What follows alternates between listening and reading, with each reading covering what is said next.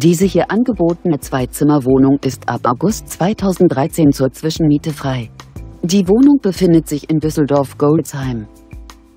Das Objekt wird über eine Etagenheizung beheizt.